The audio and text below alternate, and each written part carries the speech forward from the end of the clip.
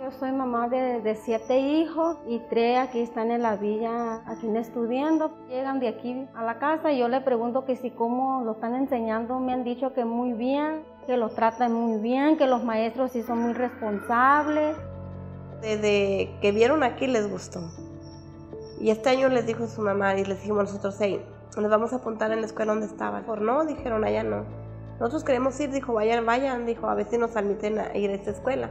Y sí, venimos, los apuntamos, quedaron y, y aquí están muy a gusto ellos. Yo no tuve oportunidad de estudiar, pero, pero me gustaría que mis hijos sí salieran adelante.